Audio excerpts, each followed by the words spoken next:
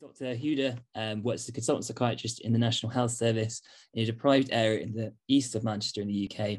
In addition to general adult psychiatric patients, much of his clinical work is devoted to the early intervention psychosis service. Although he's from Scotland, he has lived in England for half his life and has also spent about a year working as a, a psychiatrist in Australia. He's the author of The Medical Model in Mental Health, an explanation and evaluation, he also has an interest in philosophy of mental health. Away from work, he's a Liverpool FC fanatic and is hopeful that Scotland will return to the World Cup. Samei, over to you. Thank you very much, Rob. Okay, so um, I'll put classification mental health problems, and the, the main topic, is the many ways of classifying mental health problems, and um, which you choose will depend on several kind of important factors, and we'll go through some of them. And also, um, it's okay to ask me to slow down. I'm not sure the timings of this, so I might undershoot or overshoot. But yeah, if I'm speaking too fast, it's all right to ask me to slow down. Um, so nosologomania, the idea that doctors, psychiatrists, particularly obsessed with the classification of mental health problems, and I probably suffer from that issue. Um, summary of the talk: Why do we classify? Different systems such as no classification, diagnosis, dimensional symptoms network, idiographic, idionomic, and conclusions. One or two other ones that are also there on that list. Um, so why do we need classification? Um, so it allows communication between professionals. Um, it's got administrative purposes. Those are probably the two main purposes um, people are asked. So for admin, it's like if you have to record like discharge summary or activity level uh, rec- records.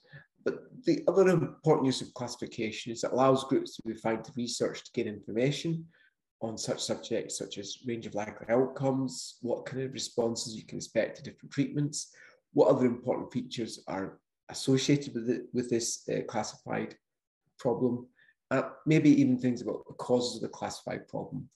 Other issues, particularly for diagnosis, is like it may be necessary to get you eligibility to care, also eligibility, eligibility for benefits.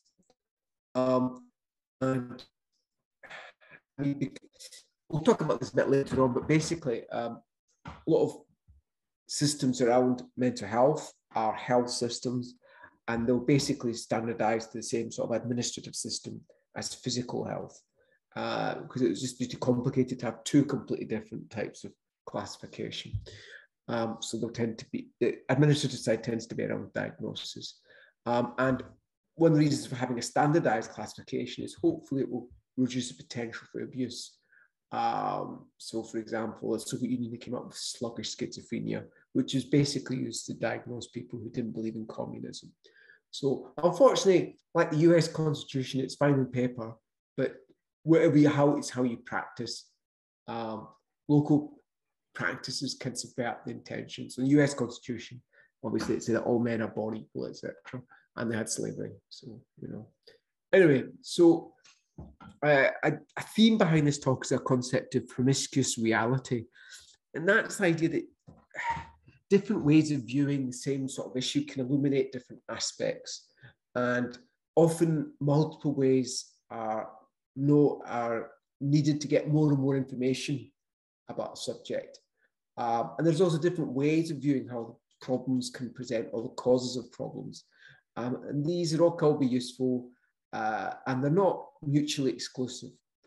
Um, and the idea is that um, pragmatic realists recognize different depending on this.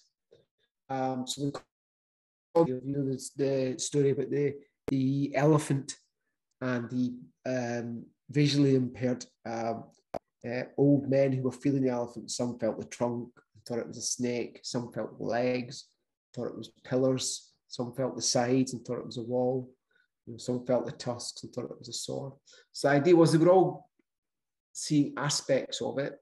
Um, and if they put it all together, they would have a better idea. Maybe it was an elephant that they were feeling. So that, that noise is me drinking Irn-Bru. A conflict of interest declaration. I've got shares in the Irn-Bru manufacturer uh, Barr. So anyway, classification to use. Well, there's three things, values, contexts, and purposes. So um, there's all kinds of variety of values uh, involved. One of them is ontological values, and that's how our kind of assumptions about the sort of nature of, of the problem. Uh, and so the thing is about people uh, and basically organisms is that we view what we encounter in terms of categories rather than dimensions. Um, but there's sort of different assumptions involved. And even call them mental health is a value choice. And to some people, that's fighting talk uh, because it sort of implies health, and to them, it implies doctors. Um, and some people will call things like problems of living or psychological problems. And there's other issues like do you view these sort of problems as being located in individuals or a sign of a dysfunction within it or broader problem within a broader context, such as family societies and different like nomothetic versus idiographic. Um, so if you want to read more about that, I'll give you a, a reference there. Um, so nomothetic is the idea of sort of, I'll talk about, well, I'll, I'll illustrate that later on. So uh, purposes, well, what are you using it for? So for example, describing something or persuading other people they've got an accurate description or explanation of what's going on. Um, maybe they want to discover a cause or a mechanism, or so they, they'll want a classification that that focuses on that. A clinician, on the other hand, are more interested in things like practicality um, and it being able to give them useful information to help clinical decision making. Um, sometimes people want to, uh, my prime want to reduce stigma, uh, and categorizations tend to probably increase stigma to, to a slight degree um, because they're nomothetic. So they, they assume that everyone classified in a certain way got some shared characteristic. Um, and then people might think there's more degree of sharing than, than, than going on, than, than is safe. Okay, and next important factor is context. So if you're a, a doctor, a medical doctor, and you've got a busy clinic, um, or you're working with them night, seeing emergencies, um, you probably want something that's quite simple, doesn't uh, so you don't have much cognitive uh, resources, so you can focus on all other things. Not just because you've got pressure of time, but it might be the middle of the night, you might be tired. Uh, you you know the emergency you you're going to focus on the emergency rather than try to classify something but people who've got for example office-based practice maybe seeing a few patients a day and the same patients for week after week they can probably use a much more complex classification system uh, and again depending on administrative requirements. I've said that in the health service, almost everyone probably will need a diagnosis of some sort because the health service runs in physical, uh, basically health-based classification. And you also want to, you don't want to use something your colleagues don't use because I said if you're going to communicate with them, if you're speaking French and they only understand English, you're not going to get very far. Um, and also some types of problems that you see. So some types of problems are more useful, some types of classifications than others. So for example, a psychotherapist or a counsellor people with sort maybe they don't get on with in-laws or something like that. You know, a sort of medical-based classification might be less useful to them than say me who's seeing people in the hospital in the middle of the night. Okay, so what are the particular problems of classifying mental health? Well, there's quite a few, uh, and I'll just mention one or two here. So one is, of course, that the brain is the most complex. I've put the most complex organ in the body by far. In fact, it's the most complex object in the universe that we that, that we know of, not just an organ. Um, I mean, obviously, a cardiologist, the heart. How complicated is the heart? It just pumps. Okay, releases some uh, one or two other hormones, basically, it's just a pump. Relatively simple, isn't it? Whereas the brain is far more complicated, and we, we don't really understand. Now we know we have thoughts, um, but how we we almost everyone accepts it's related to the brain. But what is the exact relationship still has been sorted out, like the mind body problem, the mind brain problem, whatever you call. So if you are thinking medically, physio- scientific physiology and pathophysiology is poorly understood. And it's an extremely complex organ. And obviously, things like culture affects the brain and the mind far more than affects other parts of the body. So basically, we can't visualize its functioning in terms of aspects like the mind. Uh, it's very complicated. Um, so we don't have the same sort of level of measuring outputs uh, that we have for other organs in the body. So now I'm talking about why, how we classify. So one thing is you can think about what patient shares with all other patients, then what patient shares with some that's nomothetic. So if you identify with the students, some other patients, you can then get some data from it, um, and then see what is unique to the patient. That's idiographic. Now, the problem with just looking at what's unique to the patient, uh, see, is that you can't learn from that patient to other patients because it's unique. If you just focus on what they share with some other patient, you'll lose um, uh, important information about that individual. Okay, uh, and if you do the same for everyone, you you give everyone the same treatment and can't got no idea about prognosis. So you basically got to look at all these different aspects. So one idea is you don't have any classification. Uh, and that was put forward by Moncrieff, uh, one of our articles, effectively. Uh, and what that means is, is well, they say one can abjure, and I use that sort of moralistic term, classification for multiple reasons. It's not perfect. It's not perfect scientifically. Uh, it can give you comprehensive information. Well, nothing can give you comprehensive information. If you're a Kantian, uh, you believe that there's certain aspects of an object that will always be unknowable, the noumena. Um, so yeah, we have no perfect scientific classifications of anything to do with the human body. Um, but physicians don't give up classification.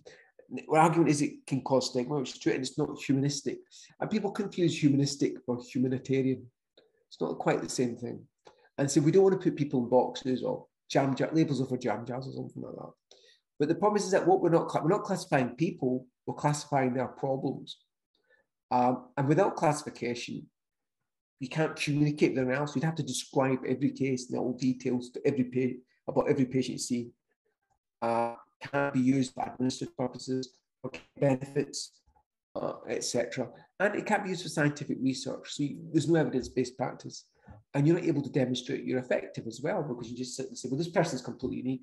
The fact the case ended up really drastically was due to unique reasons. I have nothing to do with how crap I am as a practitioner. Well, you know, maybe that's partly why they suggest it. And I've given a reference there for why classifications in the inevitable. So why do we use categories? So I used to um, do uh, like a film of Kenny Dalglish scoring the winner for Scotland against England in Wembley. I think I think he was nutmegging Ray Clemence. And I said, I can describe that in four, four words uh, good triumphing over evil. Because what it is is that we have a raw stream of data that comes into ourselves, and we've got to impose a structure on it to make sense of it, to operate on it, to make use of it, and then to remember it and recall it. And we, when we think abstractly, we use these same sort of uh, concepts and categories. And that's just how people think. In fact, probably our animals, our, probably our amoeba think as well, process information. Um, and I suppose you think about it in nerves, um, they, have, they sum up all this sort of information and then they go or don't go. Um, and so generally how we have categories is prototypic or ideal forms. Uh, and so if we recognize, so for example, like a bird, we recognize a central example or ideal form more quickly than it closer it is to a prototypical ideal. So we recognize a sparrow as an eagle as a bird more fast than we would recognize say, an ostrich or a penguin So they're slightly more unusual, and you can sort of categorize that. Now, my previous talk, a lot of these slides will be familiar, so I'll try and rattle through it a bit quickly. So we use categories because they're not very cognitive resource dependent, and we often have to make categorical decisions, and we work under pressure. So the kind of usefulness of diagnosis is it tells information like how a problem might present, what else might be present, what else it might be, uh, what often tends to go along with it, what kind of complications are associated with this condition, what the range of outcomes are, what type of treatments and responses we can expect. And how do we classify things? We can classify based on up to three shared characteristics. One is in the basis of clinical pictures, such as signs, symptoms, lab tests. So I've got here functional mental health diagnosis, many of them depression, anxiety, things like high blood pressure type 2, IBS, diabetes. And then they might have changes in structure of processes. This is more explanatory, more useful, because then you can maybe know how to reverse it or prevent it. So it's things like Alzheimer's disease. So far, we can't prevent it or reverse it. But altered dexamethasone suppression test in melancholia. Now, I've got MS there, but there's a paper out, is it is in Science recently? They think it might be due to Epstein Barr virus. Um, but then how that Epstein Barr virus then leads to you having MS. We don't know. Um, uh, MS, got uh, type 1 diabetes, Parkinson's, and then you've got the causes of change to the structure process and etiological diagnosis, so infections such as TB, or if you've got hypothyroid induced depression or something like that. Um, and there's some people think that diagnosis should be essentialist. That means they should carve nature up uh, like a giant turkey. Um, and you should have zones of rarity between different diagnoses. And it's based in Sydenham. And his idea was that you would describe a syndrome, which is a collection of clinical features that associate together. And then that would then be a implication you find. So one relationship between cause and clinical condition, uh, sort of presenting features, clinical syndrome. The problem is one clinical syndrome can have many different causes. Uh, so it's a one-to-many relationship. There's also a, a many to uh, one-to-many, but also the other way around. Um, one disease can have um, many different associated clinical conditions, such as TB or syphilis in the class of examples. Um, so in the mental, mental health problems are particularly hard to separate. Uh, one issue got diagnosis, particularly when people talk about validity. Um, now, some people, when they say validity, they mean utility. Uh, other people mean often mean that it's independent of our mind. So stars would still exist if there are no humans there. Although quantum physics suggests, isn't this observer principle that you observe something and that affects how an event happens millions of light years away or something. But and then other people suggest it's like zones of rarity between different conditions. So validity means different things. It doesn't mean something or true or use true or something like that in this context. It means a variety of things. I'll, I'll run through this quick, more quickly. So classic example disease or syndrome where you've got a clear-cut difference between different conditions and clear demarcation with health. Give some examples there, myocardial infarction that pops up later on, TB, melancholia, which is supposed to be a different, qualitatively different from sort of ordinary depression. ET is Alzheimer's. And that's the Sydenham syndrome. And so the clinician identifies unique syndrome, and then the researcher finds a cause, and the disease process is caused unique syndrome. But common type is a spectrum, where you've got a spectrum of values in the community, and we demarcate it and say some people some people don't. We have to do it for practical reasons to identify cases and do research. But obviously, it's not much different either either side of the line, but a line has to be drawn. Um, I've got your metabolic syndrome conditions, diabetes, type 2 diabetes, high blood pressure, as well as things that probably most examples of common mental health problems, such as anxiety and depression. All right, my vulgaris I've got there as well. Um, so nature of diagnosis, and this is spectrum condition. This is where it's you've got a sort of giant condition, and we we divided it for useful purposes as human clinicians, and it may or may not have a clear boundary with health. So COPD, uh, type 1 diabetes, some people have argued the two types of diabetes in the spectrum, I'm not 100% convinced. Acute coronary syndrome, you go from typical angina to atypical angina to myocardial infarction with fuzzy boundaries between them all. Uh, inflammatory bowel diseases, connective tissue diseases, seronegative spondyloarthropathies, Parkinson's disease to Lewy body dementia, frontotemporal dementia to motor neuron disease, etc. Some people suggest a psychosis like this as well.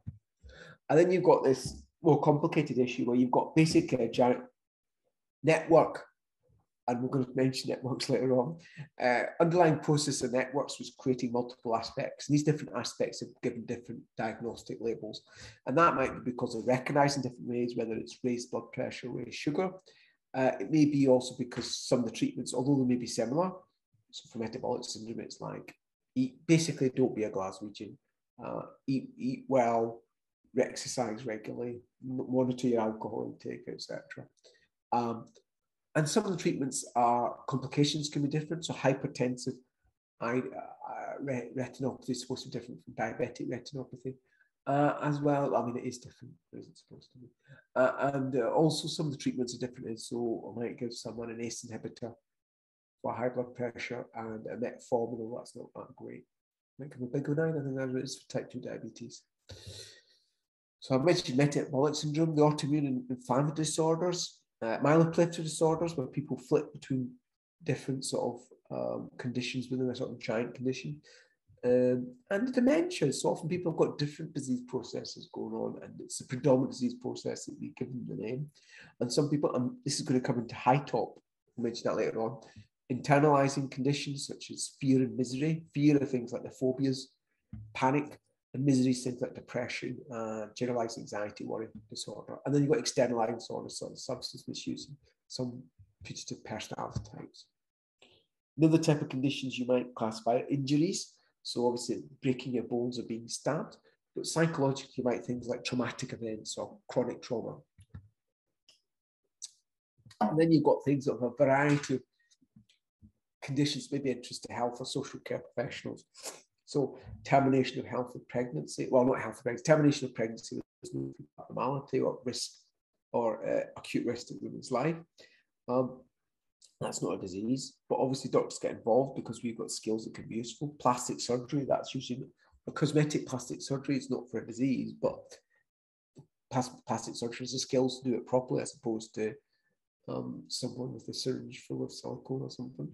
Also, like pregnancy, pregnancy is not a disease, but doctors and midwives get involved because antenatal care improves healthcare outcomes.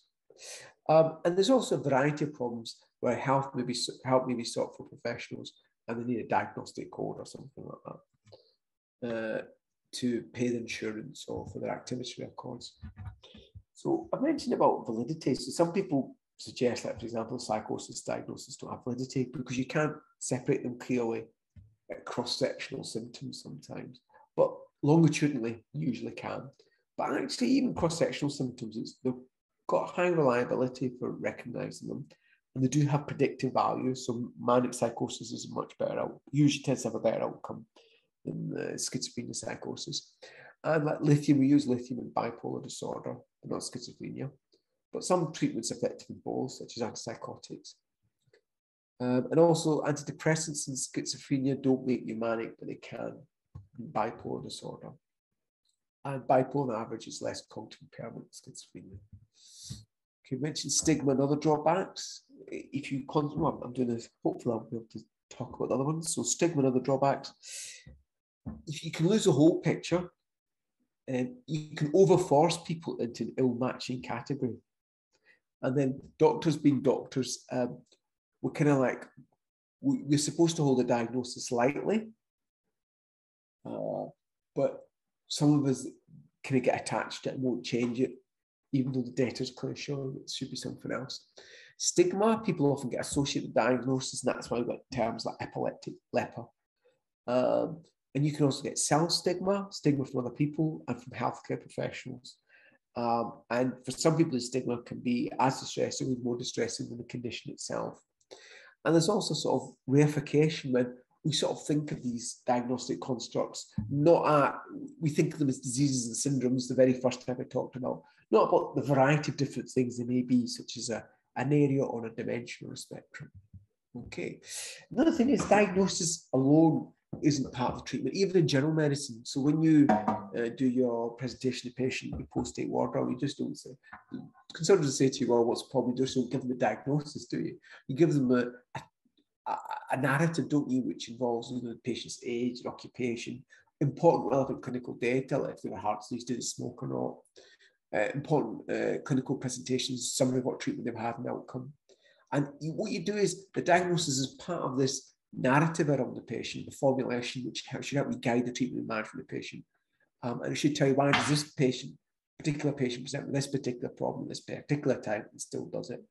And psychiatry trainees were taught a, grid, aren't we? So along the top of the columns, um, we've got predisposing, precipitating, uh, perpetuating, protective. And then the rules are things like biological, psychological, social. So it's a biopsychosocial formulation. Um, so that's diagnosis. So that should be familiar to people who attended my last talk.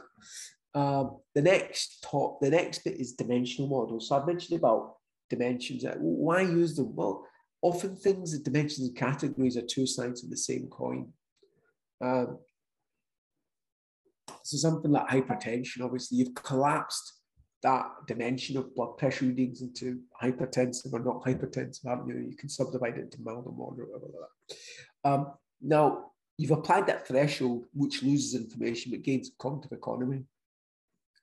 Um, now, the thing is, diagnostic categories are often symptomatic, heterogeneous. So if all you just give is a diagnosis, you're not really giving much idea what kind of symptoms have within that, particularly for mental health. Whereas if you represent all the symptoms, uh, you can represent all the, in a in the fault. If you can represent all the dimensions of the symptoms, you can represent the heterogeneity. Um, so one of them says, oh well, you've got lots of diagnoses in mental health. You know, they often have more than one. Um, forgetting that, for example, people with metabolic syndrome often have more than one diagnosis. But they say, well, instead of having lots of comorbid diagnoses, you have a comprehensive description of people's psychopathology, which is even more cumbersome. Uh, they still involve, for example, people go, we're not making categorical So if you see someone who's just taken some LSD and you rate their psychotic symptoms, they'll score at least as high as someone I've got who meets diagnostic criteria of schizophrenia for a period of time, then it'll fade. So you you can't differentiate those two unless you put some other categorical information in there, like I've excluded people who are acutely intoxicated, or uh, uh, I've excluded the period of time when they're intoxicated, etc. So you make some categorical choice, and they're quite useful for people who for they don't have to cognitive uh, resource of co- uh, economy of cognitive resources isn't that important. So if you've only got a few patients, office hours, etc., you've got the time to comprehensively describe these things. So as I said, they often involve categorical choices. So for example, if you just did your mental health symptoms, you might, for example, miss that someone has got hyperthyroid and just depression. Unless somehow you've got something saying, I've excluded anyone whose conditions are caused, clearly caused by general medical conditions. Uh, dimensions can lose data. So, for example, uh, if you just rely on cross-sectional dimensional symptom data, you lose their history. Um, so someone could be fine now, but six weeks ago they could have been very unwell. But their scores now might be similar to anyone dragged off the street. So you've lost that data. And there is no, unlike diagnosis, which has got two established systems, ICD, the international one, which everyone has to use, uh, and DSM, which a lot of people use for research, uh, and in the States and States influence kind of places like Australia. Um, there is no one established dimension system covering all mental health problems. And even of dimensional representation of there's lots of disagreement on what's the best way to do it. Um, and a corollary of that is there's much less research to make evidence-based using dimensions, which then means you've got evidence-based practice is going to be less based on evidence. Um, but dimensions, because they're very complicated, can have um, greater predictive value. So you think about diagnosis like one bit of information and dimension is like multiple bits of information. So the, more information you feed into a system, the better prognostic we can get. But the gain you get reduces with each additional bit. So what I've got here is called HiTOP. You can Google that. Um, and Awais Aftab, who I know through Twitter, um, he's now in the consortium of it. So this is quite a complicated system. Uh, and so I'll go through it. So, so look at the bottom, we've got signs and symptoms, and above that, you've got symptom components and maladaptive traits. Then above that, you've got these syndromes, which are equivalent to diagnosis. So things like dysthymia, GAD, on the left hand, somatic symptom disorder, uh, believe it. So, and then above that, they go into some factors like sexual problems, eating problems, fear, distress, mania, substance use, antisocial behavior. And then above that, you've got so the, the spectrum, which is like internalizing, which I mentioned before, externalizing, which is spent into significant antagonistic, etc. And you've got higher order dimensions. So now the good thing, now this is empirically based on large amounts of data and studies. Um, and what they do is called fact analysis and try and identify what what's the best way of representing how symptoms associate in both clinical and non-clinical populations. So you start with the bottom, symptoms, which then eventually build up into syndromes, and then that goes to subfactors. And so it's empirically based, and what they show is a continuity between non-clinical and clinical severity, but it does tend to exclude. So if you look, I can't say anything really about dementia. It's not going to exclude things like um, hypothyroid-induced depression there. You'd have to put that separately. And uh, for example, the idea of using it'll do complete a questionnaire, which takes about 40 minutes, and then feed it into a computer, and then that will give you the classification. Now, that fits a certain way of practice and fits a certain group of patients. It's not really feasible to do it with acutely unwell patients in the A&E department, or if you do the whole visit before you go over. So it suits a certain type of patient. But what it gives you, it gives you a comprehensive, if you think, if you complete all this, you've got a comprehensive list of their symptoms, okay, at that particular time. Of course, theoretically, to get course, you would then have to do it for six months, one year, etc., etc. But it's fantastic and it's great for researchers because researchers can have a comprehensive uh, picture of symptoms and then they can try and look at mechanisms that cause it. So it's great for research and some clinicians and some type of problems. And hopefully it can then be used to describe better diagnostic categories than the ones we have. So the ones we have at the moment are mostly based on clinical tradition. I think that's my dog trying in. Oh no, it's on. it's all right. So anyway, the next one is symptom-based classification. And some suggest they're using symptoms or specified problems. That works quite well for, for a variety of things that don't really fit the idea of having symptoms, does it? So it, it might be something like uh, like you don't get on with um, you're having marital issues, or you might be having something like um, a self-esteem issue, some of the kind of thing that you see a counsellor or a psychotherapist for. Um, or you might have particular symptoms. And that idea is well, if you just because it's a diagnostic catch is quite heterogeneous, so two different people with the same diagnosis can have very little symptoms in common. Um, if you just look at the symptoms, they'll be much more homogeneous, and that will allow you to do things like research mechanisms uh, and treatments because they'll all be the same rather than diagnosis. They might be a bit different. They might be quite different clinically. Um, and there's some people who hate diagnosis, such as Bentall and Kinderman. And these are people who are academics and don't do emergency work. They tend to see people, few people, uh, in office hours. Um, and it's, it's based on the myth that symptoms themselves are homogenous. They're not really. So if you've got insomnia due to amphetamines, depression, or mania, quite different. The symptoms are the same. Causes and treatments are different, aren't they? And the thing is that symptoms do aggregate. So HiTOP is based on the idea that symptoms are associated in patterns. So if you just, you know, you, you kind of, what you're doing, you're seeing the tree, you're not seeing the wood. Okay? And um, the amount of symptoms that people have would be impractical for evidence-based practice and for administrative purposes. If you're laboriously record and reform every symptom that someone has, well, when are you going to do the work? And also, um, if you see someone, like I said, say someone who's got insomnia and they also have a latent mood, you know, where's your, you know, and multiple, how are you going to find that in the research? And are you going to apply insomnia for people who are depressed to that group? It's just, it's impractical. It's good for some types of issues, but it's generally it's a practical solution. Okay, but I'll give you a good example. And this might be uh, more about idionomic, which we'll talk about later, but this is uh, Freeman's cognitive model, delusion model. And the good thing about this model, I think it's quite medical in a way. Remember I said about causes? Well, actually, what clinicians are interested in when it about cause is two things. One thing is prevention.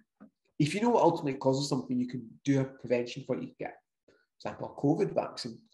Um, now, it doesn't, COVID vaccine doesn't actually prevent you getting it much, but it does seem to prevent it getting very sick. But you can also get things like cervical cancer seems related to HPV, give people the HPV vaccine, and hopefully that cancer.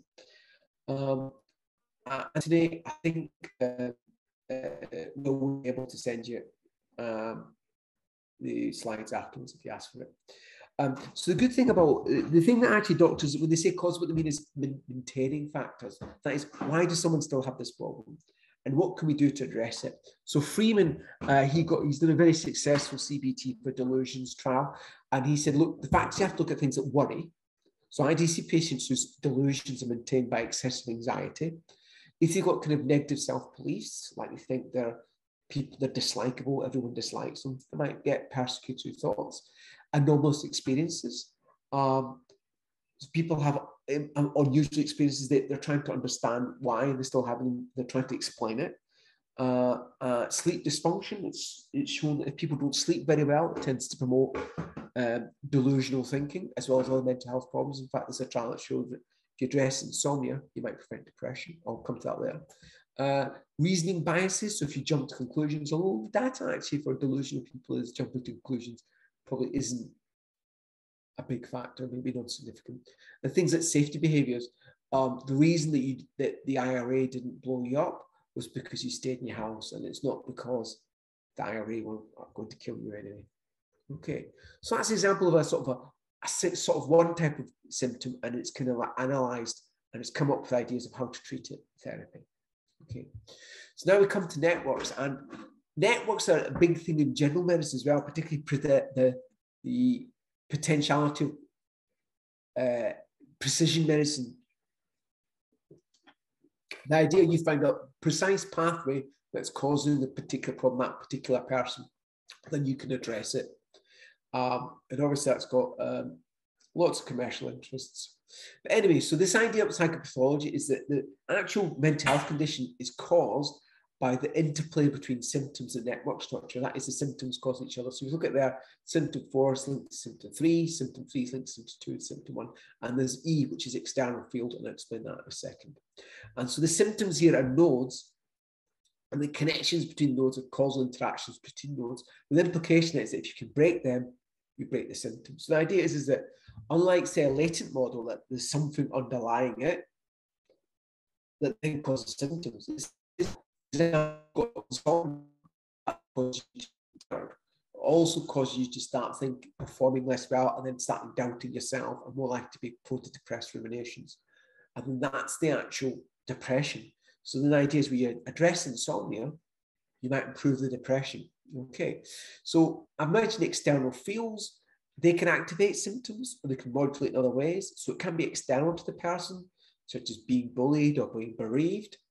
And um, it can be internal factors. So, for example, concept of inflammation being linked to depression or genetic factors increasing vulnerability, or maybe certain cognitive styles. Uh, I'll mention them a bit later on. So central nodes can be identified networks suggesting fruitful targets in etiological research and clinical intervention. So something's connecting lots of sort of different symptoms together. If you target them, you might have a sort of synergistic effect in busting lots of things, isn't it? Um, and I said, general medicine is also thinking about using network models. Okay, so if you look at the bridging symptoms, um, so you've got two symptom networks, A and B, and then you've got the bridge symptoms uh, five and six, which links to that network A through three, and network B uh, through probably six and seven. Okay, that's great. Lovely diagrams. We love diagrams. And, and things if you can identify particular consistent symptoms, then you can give them diagnostic labels, don't you? So, for example, if symptom network A was reliably identified across lots of different people, you could give it a name, couldn't you? And you give it diagnostic criteria based on one, two, three, four. And say if they've got four, they've got this diagnosis. Um, and then you get the benefit of a diagnostic cognitive economy resource system. Uh, and we try to identify these different networks, a variety of issues. The problem is, is that there's no universal network. It always varies differently between each study. Uh, it's a bit like dimensions. Um, whenever they do, for example, psychosis, the dimensional model of psychosis, it's great for that particular sample they have, but then you then apply it to a different sample, it doesn't work as well. Um, and they're usually created using statistical analysis symptoms in participants, but there is a kind of challenge and saying that just because two nodes are connected, are they just correlated or causal? And what's the direction of causality? I've given a quote for you to read a bit further. Okay, I hope the speed's all right. Now, this is a bit of a difficult one. So thinking at a uh, table, I'm thinking, so at the top of the rows, they've got genes, molecules, cells, circuits, physiology, behavior, and self-reports.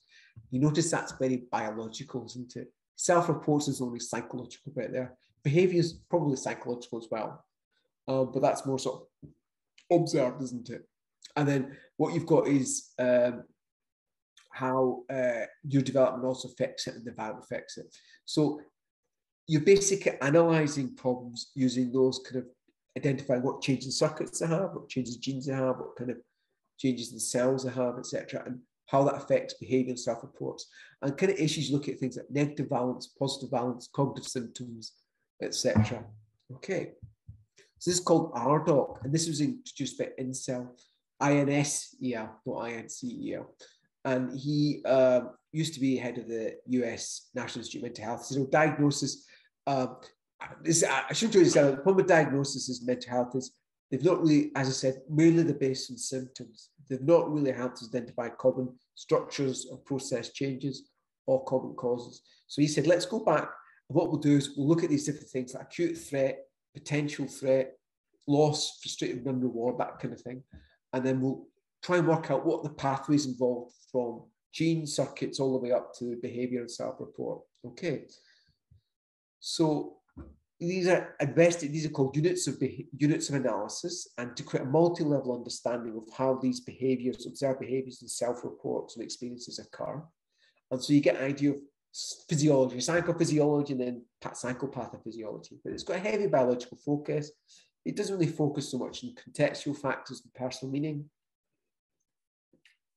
specific subdomains that matches the clinical problems. I don't hear people coming to say saying, I've got frustrated. The problem is, doctor, I've got frustrated non-reward. Not had that yet. Or um, I've got negative valence, doctor. I've got a bad case. I never hear that. So RDoC is a useful method for understanding how we get perhaps certain kind of phenomenon, but whether it will be clinically useful, I don't know. Um, next one, idiographic. So I've talked about what is unique to the individual. So might have a narrative of the life, what's the views influence the culture of particular views, meaning of what's happened to the person. And it's an important part of care, but it, it doesn't, it's hard to generate evidence from it to help the next person. So it helps to treat, uh, do you know Osler, the Canadian, not American physician, I think he's really British, who said, treat the disease, not the person. And also Hippocrates said it as well, didn't he? So no, no, treat the person, not the disease. I got it the wrong way around. Sorry. Treat the person, not the disease. I was too obsessed with thinking about whether he was Canadian or not. So treat the person, not the disease. So the idea is you need to know about the person. Um, and that's your patient. It's not lung cancer that's your patient. It's Mrs. Miggins who's got lung cancer, who uh, diagnostic criteria lung cancer. It's Mrs. Miggins that your patient. You need to know about Mrs. Miggins. Um, so yeah, use it in conjunction with nomothetic methods to give you an important vital view of the individual patient, but it's not really a formal classification itself. Now you can use some psychological formulations which are purely idiographic, um, but how can you prove they're effective? I mean, you can do research to show this is an effective method, but effective at whom? At some point, you've got to have a classification system to say who it's effective in. Otherwise, you're just relying on expert announcements of expertness Anyway, so now we've got, uh, I think we're doing all right. So you've got idionomic for time, idionomic and idionomographic.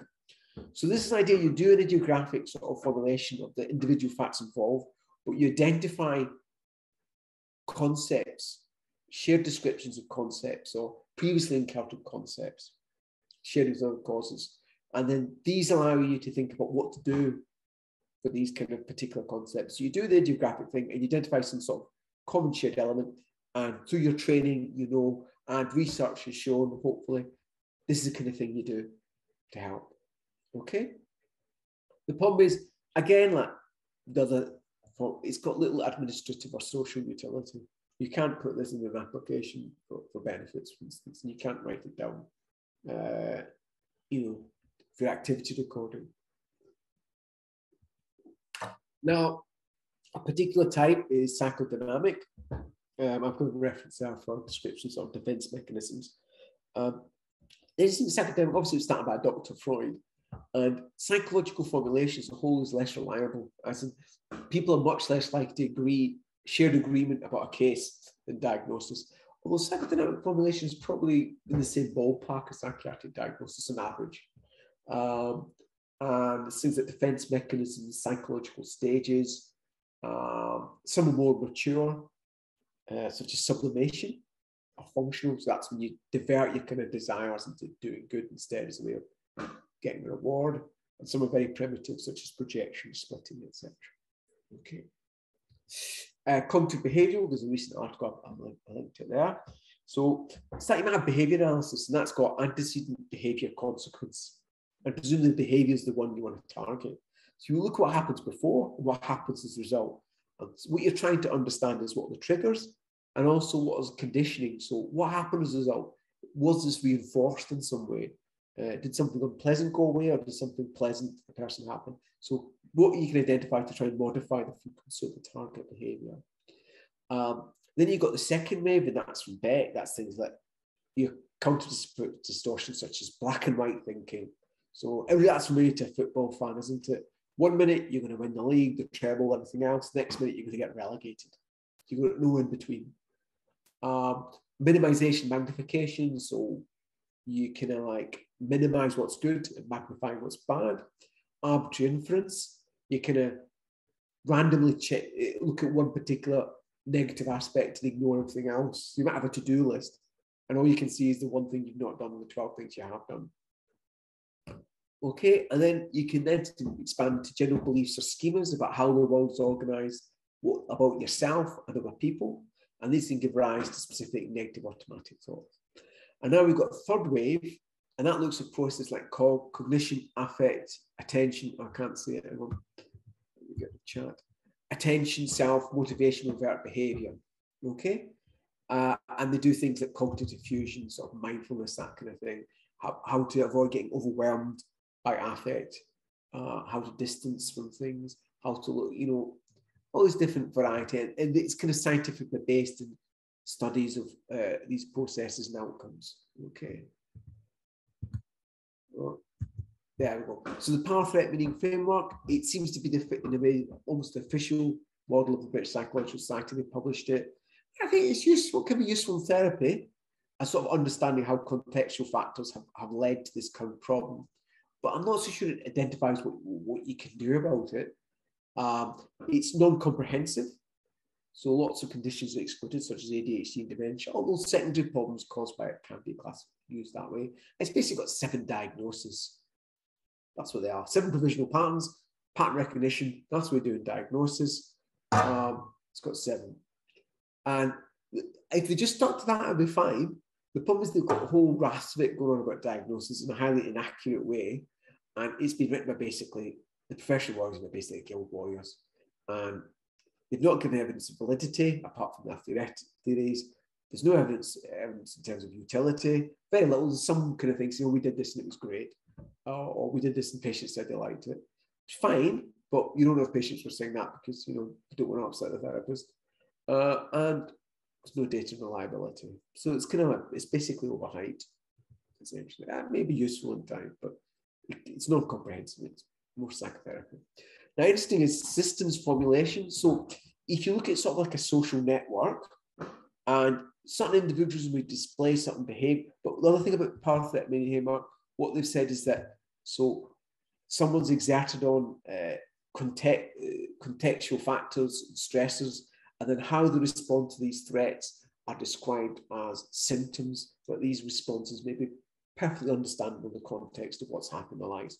So that's a good systems formulation. So maybe there's some people describe display behaviors that then lead to them being labeled as sick one. But in fact, what you're showing is, is this, there's a problem in the entire social network around that person, and this person is particularly showing behavior. So, for example, um, there may be domestic violence in the house, uh, and the child in the school is, for example, being aggressive to his peers. So the child's one is labelled as being half the problem. But in fact, if you analyse it, the child's only just displaying behaviours that it's witnessing at home.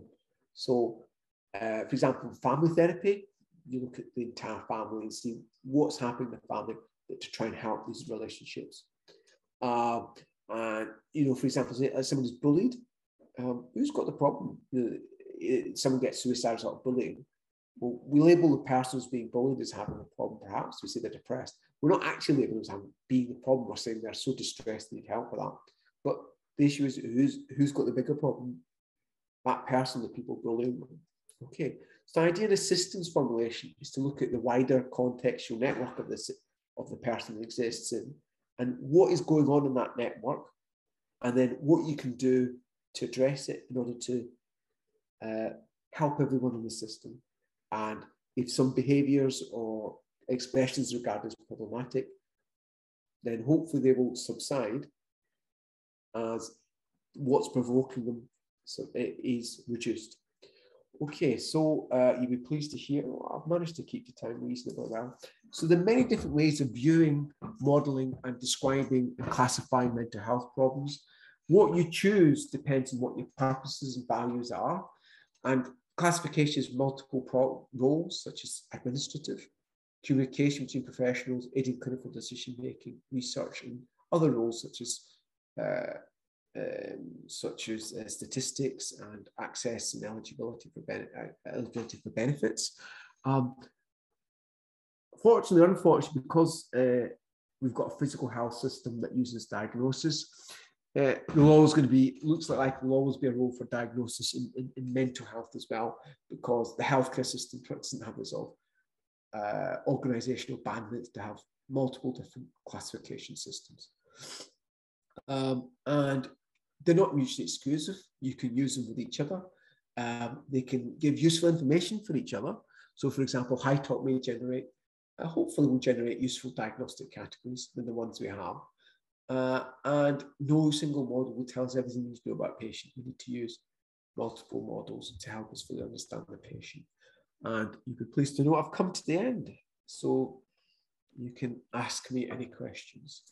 Harry, thank you. Uh, thank you very much. Um, a lot to chew on there. Um, really, really fascinating. Um, something fascinating, but um, quite disorientating, I think, about kind of disseminating the map and kind of taking all the nodes and, and replacing um, those kind of different factors in different orders. Um, but really, really fascinating stuff uh, that we've been discussing there. Samei, how long have you have you got for any questions that we might have? Uh, it's about eight. Till about eight. Okay, so we've got a couple, couple of minutes for, for a little quick chat. You... longer. Five, see, five past eight, whichever is five past eight. Okay, we'll see how we we'll see how we get on, but um, no later than five past eight. Um, if you'd like to ask a question to Dr. Huda, you can do so by writing a comment in the chat, um, or if you want to ask an anonymous question, you can send it to me, uh, William Smith, in um, in the in the chat there. Um, so I guess I wanted to start off by um, asking you about kind of diagnosis um, as sort of the primary um, model that we have of classifying mental illness. Um, and now I've seen some research which has um, suggested that there are such problems with psychiatric uh, diagnosis that it makes it kind of scientifically meaningless. Um, I wonder what you think of that kind of research and the kind of challenges to diagnosis. Um, and as a kind of follow up to that, what you think would be um, an alternative, or, or, do you think there is a better way um, that we might consider looking at things, or what would be the second best, if not? I think uh, people say about diagnosis, it's like they're not usually stating their own values, purposes, and contexts, are they? Um, and that would say about diagnosis is useful for some people's purposes, but not for others, and certain ways of working. So I think what they're saying is, is diagnosis isn't useful for them, which is fine. Um, but the issue is, is that uh, we, work in a, a system like the NHS, which has to have a centralized administrative context. So, and we also importantly work in a context of the welfare system, which it struggle, you know, it, it's it, it can only it's not going to use a separate system for mental health and physical health. So for practical reasons, uh, real world reasons, um, diagnosis is needed for administrative purposes and social purposes. Um, and also, most of the evidence is in the form of diagnosis as well. So, if you want to do evidence based practice, a lot of it does involve looking at diagnosis. Now, that's not saying the current diagnostic system is perfect, it's far from perfect, but we have to improve it. But at the same time, it doesn't mean we can get rid of diagnosis for a host of clinical well, practical reasons, but also in clinical practice.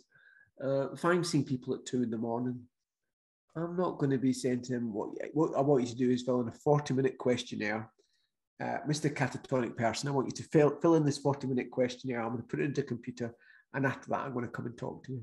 because that's just not practical, is it? So I think it, the diagnosis in clinical practice uh, isn't useful for everyone or for every particular purpose, and it might not be useful for researchers, whatever. But at the moment, it's it's inescapable. Um, but what you use in clinical practice um, depends on how you work and what purposes you want to use it. So yeah, I think for for doctors who've got heavy workloads and work in emergencies and stuff, they'll still use diagnosis. Other people can use other things. People will still have to use diagnosis for application benefits, administrative purposes, statistics, etc. Is there any other system that you use or any other thing that you think is useful as a psychiatrist? So, for example, I use a brief uh, dimensional system because uh, I work most of the psychosis. So almost everyone I'll see, I'll use what's called the CGIS, Clinical Global Impression Scale Schizophrenia. And that's four dimensional scales on an overall scale. So I'll record that almost every clinical encounter because I'll have got the data from my normal clinical assessment. It takes me like a minute, half a minute to write it out. So I'll do that uh, as an addition to the data. And when ICD 11 comes out, uh, I think we've got a five or six item dimensional scale. So I'll switch to that when ICD 11 starts being used. So you can mix and match. Fascinating stuff. Um, again, if you've got any questions, please um, please put them in the chat there. Um, I guess my my next um, point I was going to raise was taking us kind of right back up to the the top before we even started really honing classification, but just talking about um, we're talking about this Kantian idea you said some objects um, will always be um, some, some aspects of objects will always be unknowable. Um, yes. and i guess that is always the case. There's definitely this feeling and uh, i've studied a bit of neuroscience before i came to be interested in um, psychiatry specifically yeah. that in the future we're going to be getting to that point where there is um, all, we almost know everything that we can know. I wonder where where you think the limits of our knowledge are in terms of because I suppose classifying we're trying to we're trying to disseminate you know mm-hmm. what mental illness is, and I wonder where you think the limits of, of what we can do so, are. For example, consciousness. They call it the hard problem of consciousness, and there was a paper a few years ago that says we'll sort it in fifty years. But I'm sure 50 years ago, people thought they were going to sort it in 50 years. So the mind brain problem is possible, it may be intractable um, and it may not be amenable to uh, nomothetic research. So there's a theory called anomalous monism uh, by Davidson, I think, and he said that well, you see, yes, every every mental state is correlated with a specific kind of physical state, but that's a monism bit. So mental state is equivalent to physical state. But he said you can't predict the mental state from the physical state which would, uh, and that presumably I think part of it is, is that it varies between individuals. So um, uh, thinking about Kenny Dalglish scoring against England would have a particular physical representation in my brain, uh, but in someone else's brain, it might have a different physical representation. Which means that if you wanted to identify the physical representation of Kenny scoring against England, it's impossible to find it out because me and individual B would be completely different in how we physically represented it. So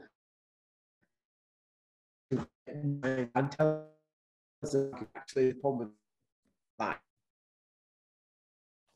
And evolution depends on physical reproduction of things. Um, and so it does suggest that there's certainly an element of common physicality about representation mental content. Otherwise, evolution couldn't operate. Um, but yeah, so I think there's always going to be lots of things we don't know about something, um, and particularly the mind brain because it's just uh, mind-bogglingly complicated. I mean, as I said, the heart, the heart is simple. The heart's just a pump.